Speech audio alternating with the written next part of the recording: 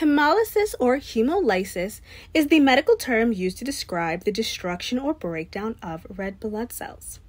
The combining form hemo actually means blood, or in this case, blood cells, while lyso or lysis refers to the breaking down or destruction of something.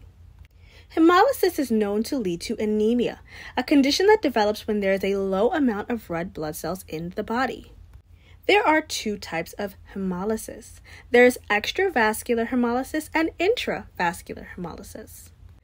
The term extravascular simply means outside of the vessel, the blood vessels, while intravascular means within the blood vessels. Hemolysis can be caused by quite a number of things. There are conditions that are caused by instability in hemoglobin, such as sickle cell anemia and thalassemia. You have enzyme deficiencies like G6PD deficiency or pyruvate kinase deficiency.